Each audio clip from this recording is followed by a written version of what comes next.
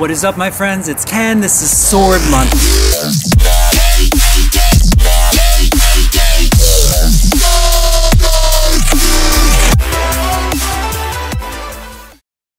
Uh, at the end of the month, I'm going to give away this training sword. It is blunt at the end. Don't worry. It is a little sharp at the tip, though, so you may want to tape the top. Uh, I'm going to go over a few different kinds of swords.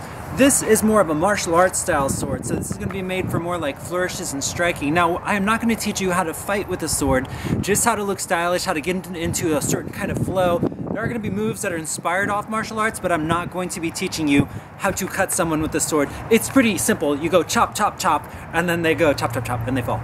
I have to give the disclaimer, do not use a sharp sword.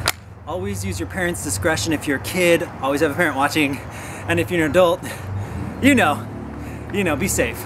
Today we're going to be working on martial arts swords and what I'd like to do is because we have this sword, we have this awesome sheath and I figure we could have some fun. So I've decided to, I started working on some ideas for just fun ways to unsheath your swords and things you can do.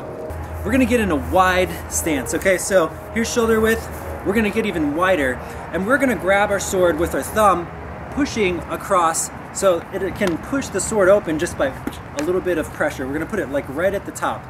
Our other hand's gonna grab the hilt very close, and we're gonna take the sword, and right now we're not gonna attach it to our belt. We're just gonna hold it down here by our hip, okay?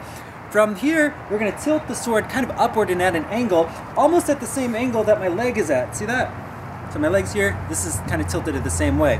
Pull it down, push it out with the thumb, so the thumb opens up the sword, get low, get ready, get in a really low, deep stance. Hand's gonna start to open up like this, so it's kind of shifting it out. And then we're gonna twist our body, and as we twist our body, it opens up, uh, and it's actually gonna be almost like a snap that causes the slash. All together, boom, like that, okay? When you get done with the slash, what I really wanna see is really low. Let's say you're doing some sort of cool action movie, and you go to unsheath your sword, but then some guy's hand blocks it, Ugh, like this. I wish I had a person right now. This would be so much easier. What you're gonna do is you're gonna take a step this direction and you're gonna pull the other side, and this is gonna cross over and kind of, well, you're gonna try to, it's gonna aim for the face, boom. So it's here, oh, they stop you, smack, like this, right? From here, all we're gonna do is we're gonna slap down and slash down. So, all in one motion, it's gonna be, I'm gonna try to open it up, they stop me, I take a step over to the side and this slashes down. This would be almost like I'm, I'm using my elbow to reinforce and I'm pushing it down by their neck, right? From here, I can either step sideways or I can be more theatrical and almost jump with it.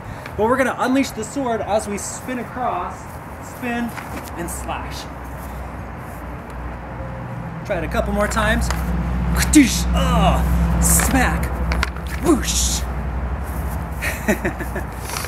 Again, open it up, they catch it, their hand is in the way.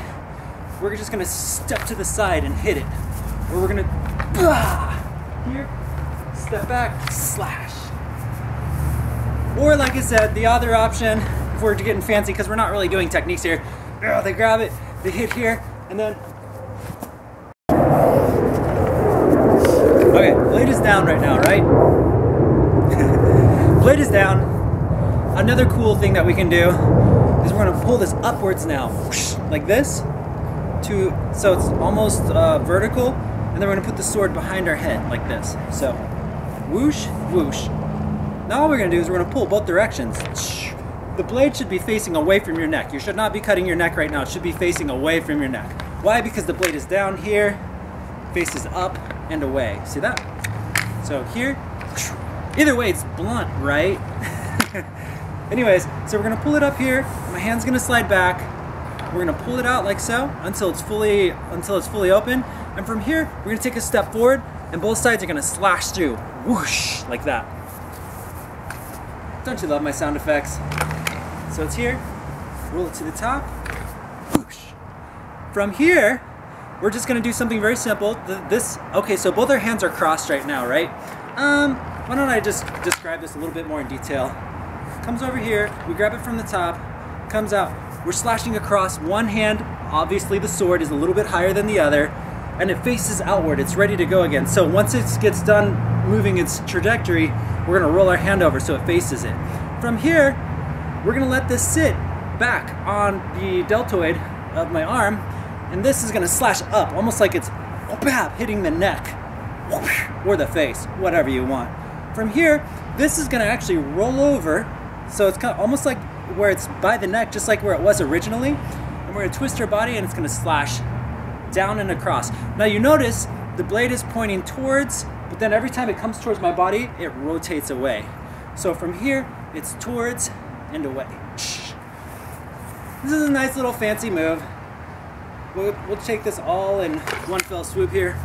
Got your sword here, here, swing, swing, slash.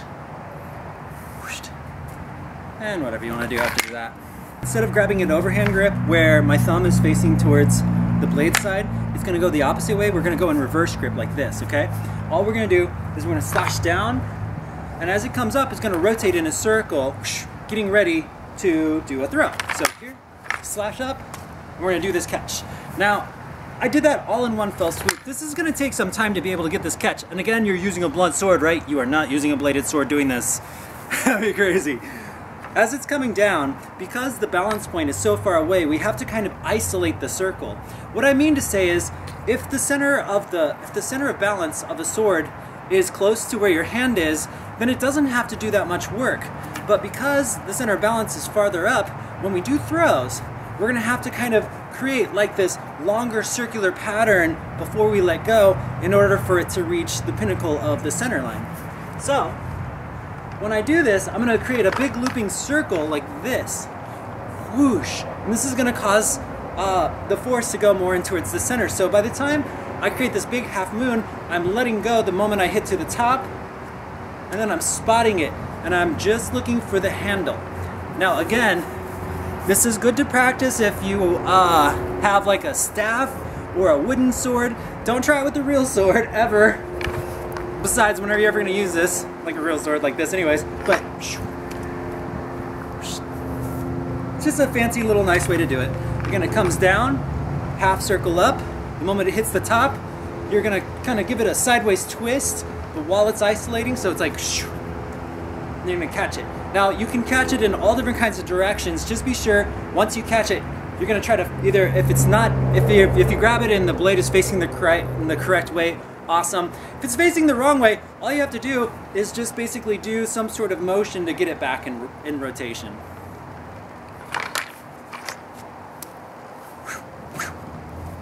One last fancy catch, it looks like this. So the center of my balance is right here. This is where I'm gonna put, I'm gonna put my elbow out. So my left hand is going to be holding the sword. My, my right elbow is going to be sticking out like so. So it's almost like I'm standing with uh, perpendicular. My arm is perpendicular to where my body is going this direction, okay? We're going to put the elbow out so it's sticking straight out.